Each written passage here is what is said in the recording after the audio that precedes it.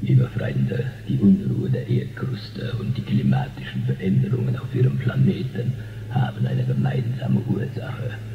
Sie liegt in den Unregelmäßigkeiten der Sonnenaktivität begründet, die seit Jahren bei ihnen registriert wird.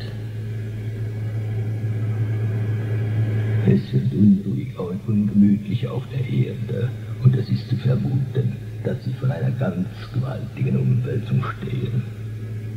So oder so, eine Zeit scheint abzulaufen und auf ein zumindest teilweises Ende hinzudeuten.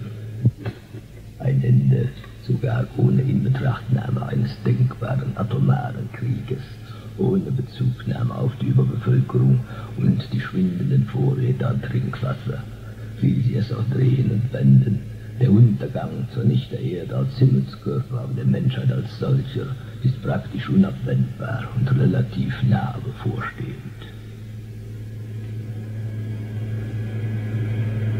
Gibt es vielleicht in letzter Minute eine Hilfe von auswärts? Nun, das Wichtigste ist eine Besinnung in letzter Stunde. Die Besinnung darauf, dass es eigentlich grotesk und absurd ist, nur von diesem kurzen irdischen Dasein auszudenken und zu leben ohne zu wissen und ohne zu überlegen, was vorher war und nachher sein wird. Sie haben, und das ist das Wichtige, durchaus die Möglichkeit in ihnen, hier und jetzt weiterzudenken und weiter zu planen. Ihrer Unsterblichkeit steht nichts im Wege, sie müssen sich nur deren bewusst werden.